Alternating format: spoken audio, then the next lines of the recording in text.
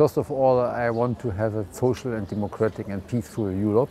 That means we have to uh, overcome the failure construction of the Maastricht Treaty, meaning that we have a monetary union and therefore we have now to establish a social and real economic union, which is also of course linked to sustainable growth and sustainable development, so to combine social and ecological themes and issues.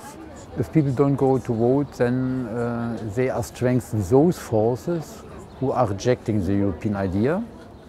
And if they are going, or if they are not going, that means the developments are remaining unchanged. And I want that people, that citizens take their responsibility and their chance to determine in which way Europe is developing. And that is, I think, the most important task to vote on the 25th of May.